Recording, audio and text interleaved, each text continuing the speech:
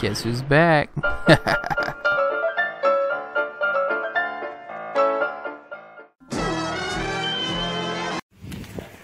ah, sweet justice. That's what you get for taking up two spots.